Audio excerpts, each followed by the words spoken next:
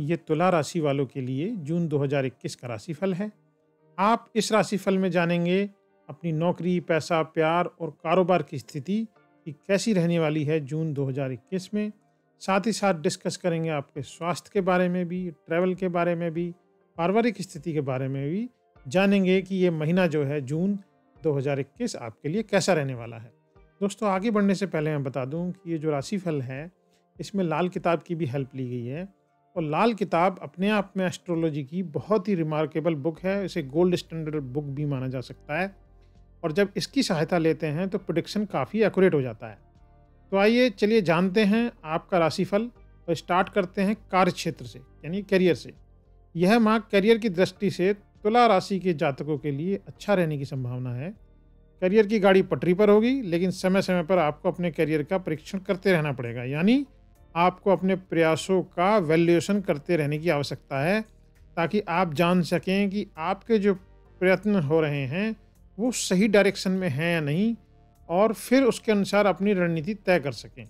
आप समझिए, इसका मतलब ये है कि अगर आपने कोई प्रोजेक्ट हाथ में लिया हुआ है तो आप प्रोजेक्ट को उसकी टाइमलाइन के हिसाब से चेक करते रहें।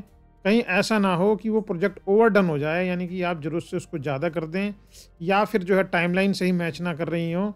ताकि ऐसा ना हो कि अगले आने वाले महीनों में चीज़ें गड़बड़ा जाएँ। ये महीना बढ़िया है, इसीलिए मैं आपको सलाह दे रहा हूँ कि आपका ब्रेन दिमागी बहुत अच्छा काम करेगा। तो अपने जो है प्रोजेक्ट को या आप जो भी काम कर रहे हैं, उसको चेक करते रहें कि वो ठीक हो रहा है या नहीं हो रहा है तो आपके लिए बहुत बढ़िया रिज़ल्ट देगा। नौकरी पेशा का पेशा जातक जो हैं, उनके लिए समय अच्छा है। माह के प्रारंभ में ट्रांसफ़र होने के योग दिख रहे हैं। और नौकरी में परिवर्तन भी हो सकता है और यह बदलाव आपके लिए अच्छा ही रहने की संभावना है। व्यापार करने वाले जो लोग हैं, उनके लिए भी समय अच्छा है, क्योंकि बिज़नेस में स्थितियाँ आपके अनुकूल रहेंगी, आपके हिसाब से रहेंगी, काम धंधे में बरकत होगी और सोच समझ कर काम करेंगे तो सफलता आपके कदम चूमेगी। व्यवसाय में जो है बिज़नेस में एक्सपेंशन यानी विस्तार के योग भी दिखाई दे रहे हैं। और अपने व्यापार को आप आगे बढ़ाते हुए भी दिखाई देंगे या फिर कोई नया काम शुरू करेंगे। जून में ऐसे जो है संकेत दिख रहे हैं यहाँ पर। अब बात करते हैं आपकी आर्थिक स्थिति की। तो ग्रहों की स्थिति बता रही है कि जून माह में तुला राशि के जातक आर्थिक मोर्चे पर निश्चिंत रह सकते हैं। आर्थिक दृष्टि से यह समय बहुत उत्तम है और देव गुरु की दृष्टि नवे और ग्यारहवें भाव पर है, जो क्रमशः भाग्य और आय लाभ के भाव कहे जाते हैं। और ये बढ़िया स्थिति है। इसके कारण आर्थिक प्रगति की संभावना है। नियमित स्रोतों से आपको जो है इनकम होती रहेगी और आय के जो कुछ नए स्रोत बनने की भी संभावना यहाँ पे दिख रही है। जो लोग नौकरी पेशा हैं, उनके वेतन वृद्धि या उनको इंक्रीमेंट प्रमोशन की भी संभावना है। नौकरी में जो है चेंजिंग की वजह से आय बढ़ने की संभावना है। हो सकता है आप जॉब चेंज करें और आपको अच्छा वहाँ से रिज़ल्ट मिले पैसे के मामले में। आपके जो इंसेंटिव्स हैं वो बढ़ सकते हैं। और जो है आपके अच्छे काम के लिए आपको बोनस या इंसेंटिव भी मिल सकता है। बिज़नेस करने वाले जो जातक हैं, उनको आर्थिक लाभ होने की पूरी पूरी संभावना है। बिज़नेस अच्छा चलेगा, जिससे आमदनी में आपकी वृद्धि होगी और पहले किए गए किसी निवेश से भी अच्छी आय होने की पूरी उम्मीद है और कोई अटका हुआ पैसा भी आपका वापस आ सकता है। आप इन्वेस्टमेंट भी कर सकते हैं इस महीने में और सेविंग्स भी आप काफ़ी अच्छी कर पाएँगे।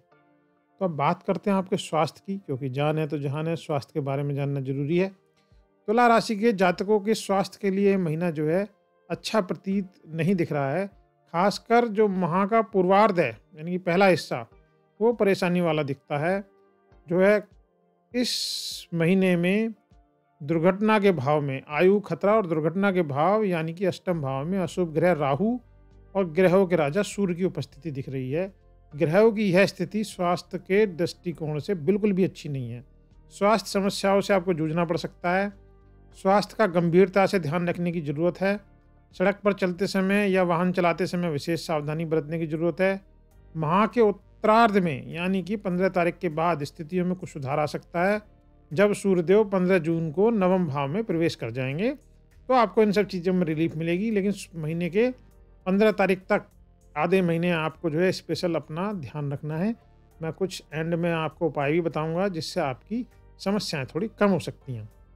अब बात करते हैं प्रेम और वैवाहिक जीवन की। तो तुला राशि के जातकों का प्रेम जीवन इस माह बहुत बढ़िया रहेगा।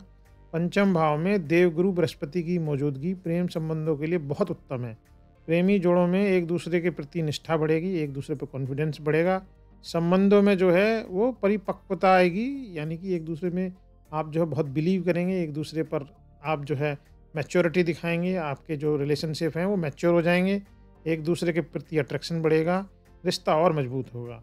मिलने के पर्याप्त मौके मिलेंगे, साथ में कहीं घूमने जा सकते हैं सिनेमा देखने का कार्यक्रम बन सकता है, कुल मिला के मौज मस्ती का जो है टाइम आपका गुजरेगा और जीवन जो है आनंद में रहेगा। शादीशुदा जातकों के लिए भी ये समय ठीक ठाक है माह का आरंभ बहुत अच्छा रहेगा। पति पत्नी के रिश्तों में काफ़ी मिठास रहेगी। और प्रेम की वृद्धि होगी। किसी रोमांटिक स्थान की यात्रा पर जाने का कार्यक्रम भी बन सकता है। उसके बाद जो है पति पत्नी के बीच थोड़ी सी तालमेल में कमी दिख रही है। दोनों के बीच मतभेद हो सकते हैं, लेकिन स्थिति नियंत्रण में ही रहेगी, हाथ से बाहर नहीं जाएगी। जीवन साथी के सहयोग में कोई कमी नहीं आएगी। कामों में जीवन साथी का पूरा सहयोग मिलेगा और दाम्पत्य जीवन की गाड़ी ठीक ठाक चलती रहेगी। अब बात करते हैं आपकी पारिवारिक स्थिति की, जो भी जानना बहुत ज़रूरी होता है कि परिवार में सब कैसा है। तो तुला राशि के जातकों के लिए जून का माह पारिवारिक सुख की दृष्टि से कुछ खास नहीं है। परिवार का भाव माने जाने वाले दूसरे भाव में छायाग्रह केतु विराजमान है और उन पर दूसरे छायाग्रह राहु तथा ग्रहों के राजा सूर्य का प्रभाव पड़ रहा है। इसके अतिरिक्त माता तथा सुख का भाव चतुर्थ भाव में शनिदेव की उपस्थिति है, जो ग्रह गोचर की यह दशा बता रही है कि इस माह पारिवारिक जीवन में उतार चढ़ाव रहेगा। पारिवारिक माहौल में असहजता की स्थिति बनी रह सकती है। परिवार से दूरी बढ़ सकती है, किसी कार्यवश या अन्य कारणों की वजह से घर से दूर जाना पड़ सकता है। दो जून से ग्रहों के सेनापति मंगल के चतुर्थ भाव पर दृष्टि डालने से माता पिता को स्वास्थ्य से संबंधित दिक्कतें भी आपको हो सकती हैं। अगर पहले से कोई समस्या है तो उसमें वो समस्या आपकी बढ़ सकती है। माता पिता का बेहतर ख्याल रखें। हाँ भाई बहनों के लिहाज से ये समय ठीक रहेगा। आपको उनका प्रेम मिलता रहेगा। अपने कामों में आपको उनसे पूरा सहयोग मिलेगा, जो कि एक बहुत अच्छी बात है कि उनसे आपको अपने भाई बहनों से काफ़ी सपोर्ट मिलेगा। अब थोड़े से उपाय जान लीजिए ताकि आप जो है थोड़ा सा रिलीफ पा सकें। आपको श्री गणेश जी की उपासना करनी चाहिए और प्रतिदिन श्री गणपति अर्थ शीर्ष का पाठ करना चाहिए तो आपके लिए लाभदायक होगा। तो अथर्व शीर्ष का शीर्ष का पाठ कर सकते हैं बट आप गणेश जी की उपासना भी अपने तरीके से कर सकते हैं, गणेश आरती कर सकते हैं, कुल मिला के गणेश जी की पूजा करनी है। जब भी आप भोजन बनाएँ, कुछ हिस्सा उसमें से गाय कौए और कुत्ते को देने के लिए निकाल लें, वो आपके लिए ठीक जाएगा। और ओम शुभ शुक्राय नमा, ओम सु शुक्राय नमा का जाप करें। मोती, हीरा या ओपल अपने रिंग फिंगर में पहने, वो भी आपके लिए ठीक रहेगा। तो आपको एक मंत्र का जाप करना है, ओम शुभ शुक्राय नमा। तो या ओम सुम शुक्राय नमा, ऐसे भी बोलते हैं इसको।